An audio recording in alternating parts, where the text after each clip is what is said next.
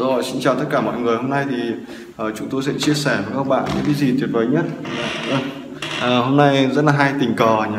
Uh, tôi có một con con pet rất là đáng yêu. Uh, giới thiệu các bạn đây là con mèo ba tư của tôi. Và con mèo ba tư. Đấy, cái đuôi nó rất to này. Đấy. Con mèo màu trắng rất là đáng yêu, rất là thơm tho. Ừ. Dạ vâng. À, mỗi một người nên có một cái người bạn nhỉ. Có một người bạn đôi khi là những người bạn như này họ chỉ biết uh, nghe mình nói.